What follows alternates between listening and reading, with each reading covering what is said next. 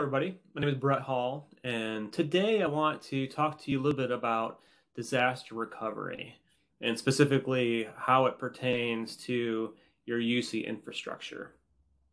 So, um, disaster recovery is something that I'm not quite sure it's prioritized that well uh, amongst the customers that I see, and um, the way I the reason why I say that is because it's um, it's not necessarily prioritized as well as organizations think it is or as they think it should be. And so um, I'll just try to give you a few examples here, right? Um, many organizations have a dis disaster recovery plan, and this is where disaster recovery always starts with a disaster recovery plan. But uh, many organizations don't necessarily have a recovery point objective that they know, um, or certainly a recovery time objective. So, um, a recovery point objective simply means uh, how much data can I lose if we um, go down hard, if our servers crash. Obviously, we hope for the best, but we have to prepare for the worst. And um, having that RPO in place simply leads to the configuration on our UC infrastructure that we need to make sure is happening and, um, and happening properly. Um, the RTO simply stands for Recovery Time Objective, which means um, how fast can we get the infrastructure back and operational if we do crash and we go down hard and we lose data. Okay. And so many organizations might have this policy in place, but yet what I see is they don't have the infrastructure for administrators to properly uh, test things like data restores of their UC infrastructure. So therefore, whenever I ask somebody, they just don't know how long it might take to, to restore all the data, the data in their cluster. Um, so um, and some of this has to do with organizational squabbling, if you will. But um, what I see sometimes is you have your UC team that is typically responsible for managing your um, your communications manager, your Presence servers, your Unity connection for voicemail, and then you have your server team. And when it comes down to the time to to start doing backups, either the server team doesn't even provide the UC team with a SFTP server that they need for the backups, or they're doing maintenance on it and they're just not quite um, notifying the UC team that maybe this SFTP server is down because they're trying to save power or, whatever you, whatever you have. So um, there's some struggles around an organization getting consistent and regular backups that they would need to meet their RPO and RTO. Um, last but not least, and again, we've kind of already touched on it, is the restore process. So hopefully this uh, this talk helps encourage you to get back into um, the weeds a little bit with your disaster recovery policy, and just making sure that uh, that your UC infrastructure is set up to um, provide the best possible RPO and RTO as possible. So um, now that we've talked about some overlying principles, um, I want to talk about some of the key components that uh, are part of a Cisco UC infrastructure. So um, within a Cisco UC infrastructure, and particularly we're talking about things like Unified Communications Manager and Presence Server, um, you have the disaster recovery system um, button that you can go to, and I'll show you that here in a few minutes. But um, separate, it's a separate function or component of your UC infrastructure that you use to configure things like backup devices, and you would also use to restore your cluster if you had a loss of data. Um, within the cluster itself, you have something called a master agent and a local agent. And uh, Simply speaking, the master agent is kind of like the puppet master, and it's controlling the uh, the backup process with some of the local agents of your cluster, whether it's subscribers or subordinate servers like uh, IM and Presence server. Um, this connection is secure, and so um, it uses an SSL connection between um, between master and uh, local agents. And uh, the way that works is through the IPsec certificate. And so again, sometimes um, you don't really know why certain certificates are in your cluster, but uh, but Cisco is all about security by default, and the IPsec certificate is uh, is what is used to create that secure SSL connection between master and local agents. Um, then, of course, you have your backup devices, and, and within Cisco's UC infrastructure, you can create up to 10 different backup devices. So you say, Brett, you know, why would someone need that many different backup devices? Uh, I can think of at least um, a few different reasons why you might have at least three or four backup devices, um, depending on what your um, recovery point objective is. You may have at least a monthly backup, but if you have a RPO of a week, then you're going to want to have a separate backup device for a week, and then maybe even a day, and then from there you may want to have multiple different backup devices. So you may want to back up your device, um, your data to two separate devices, to separate um, SFTP servers. And so that really quickly gets us to six different backup devices. So um, that's with the SFTP server. And then from there, um, your login credentials. Again, uh, SFTP does require authentication. And so you'll always want to make sure you um, have the right login credentials. And, and again, if the server team changes login credentials, sometimes that happens to comply to security policy. Uh, you'll want to make sure you change those as well so that you get those backups like you would expect.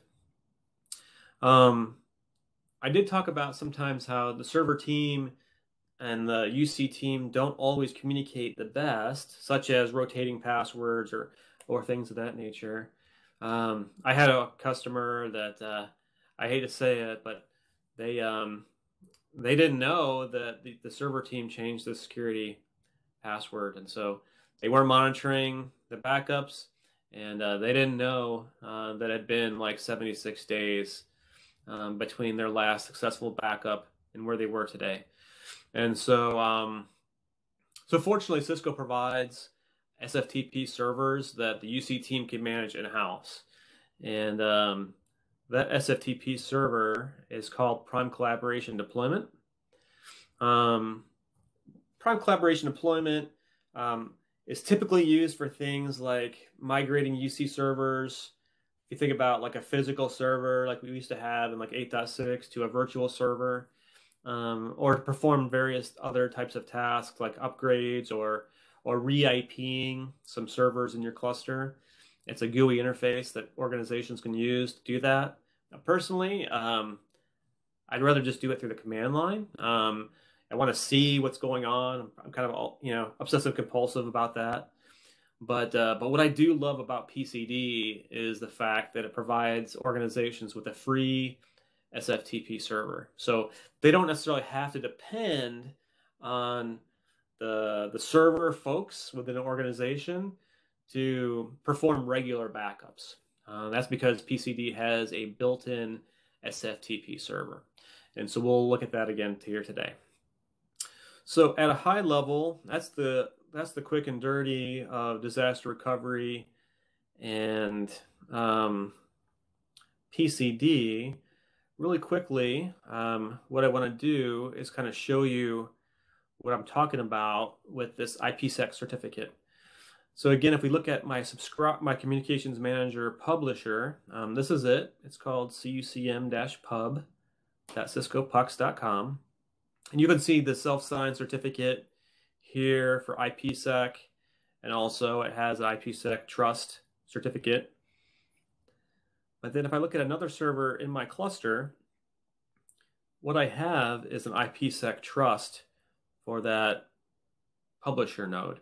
And so if I were to go in here and just maybe I didn't understand what the certificate was and I just click, you know, chose to click on it, and then I'm like, hey, uh, I don't know what this is. Let me delete this certificate. Um, chances are you would have some pretty undesirable uh, result of that, and uh, your backups probably wouldn't uh, perform as you would expect. So keep an eye out on your IPsec uh, certificates. This is something that's kind of done by default. You don't really need to go in there and add any certificates unless you really want to sign them with a CA or something. But um, these are all built by default. And then from a services perspective, uh, let me show you where the let me show you where that agent is at. Remember I talked about a um, two different types of agents. I talked about a master agent and a local agent. So you should find this under Unified Serviceability, Tools, Control Center Network Services. And uh, if you just scroll down a little bit, um, you'll see here under Backup and Restore Services, your Cisco DRF local, which should be running on every single UC server in your cluster. And then you should also have DRF master. Now, um, if we go to, and if you want the backups to run, these should be running obviously. But then last but not least, you have your disaster recovery system that you can navigate to. So I'm just going to quickly navigate to this disaster recovery system and log in. I have a different login for this.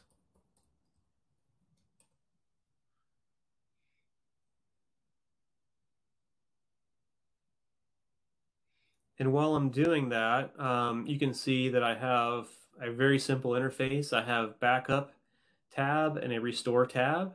Um, backup tab is where you add your backup devices and restore is where simply you would follow a wizard for uh, restoring any kind of data that you may have lost in the event of a disaster.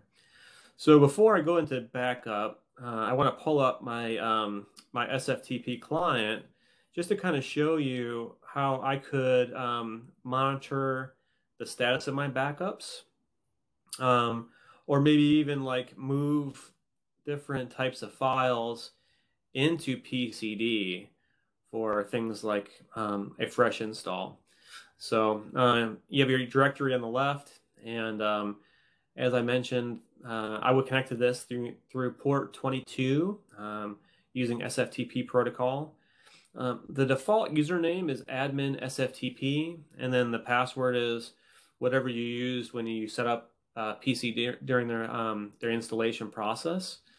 But um, as you can see here on the right, I have this backup directory, and um, and I have two different directories under that. I have my directory for U, uh, for UCM, and you can see these tar files in here. So you can see I just completed a backup today, and um, and then you also have the same thing for um, for Unity Connection. And so I think I did my last backup uh, last week on the 7th. So um, backups look good. Um, if, if, for example, I wanted to um, go back in and just periodically check the history of my backups, uh, you have this backup history um, button. And again, you can see uh, where I did my backup here today. Actually, I had a failure with my IMP node because for whatever reason it was turned off. I had a power hit yesterday and I forgot to turn it back on. Um, so I'll have to go back in there and, and rerun this backup manually, um, which can be done here through manual backup. But then certainly you have a scheduler as well. And uh, this is where I was talking earlier about your RPO. So again, you might want to have a monthly backup, um, which is kind of what I have set up. Uh, I've given a meaningful name. But uh, I back up monthly to this this guy, this free SFTP server, and then I back up weekly to my PCD node. And uh, you can see the path here, which is also set up under the backup device. Um, and this backup device, for example, um, it matches my path within PCD, right? So This is my IP address of PCD um, slash backup slash CUCM matches my directory uh, that I want to back up my stuff to. And um, if you have, I think PCD re retains two backups. And so if you have it set for weekly, um, you should have um, two weeks of, um, of backups of data backed up there. If you do the third backup, it's just going to overwrite the oldest uh, backup. So um, that's another reason why you might want to schedule different types of um, backup devices. So you may not want to overwrite um, that third backup. Instead, you may want to go back a month and uh, and have a separate backup device for um, for your monthly backups. So um, so that's really it with disaster recovery and uh, and how it pertains and how it can be configured within Cisco UC. I hope this means um, that uh, you're going to go back in and check out your system to make sure everything's functioning properly and uh, that your organization doesn't have any issues at all um, with any kind of data restoration process. Obviously, again, we always hope for the best, but uh, but if you're a prepper like me, um, you want to always make sure you prepare for the worst, and that's what disaster recovery system was uh, was included into your Cisco UC infrastructure for. Um, if you like the video, go ahead and hit like and uh, subscribe, and uh, we'll catch you next time. Thanks. Have a great day.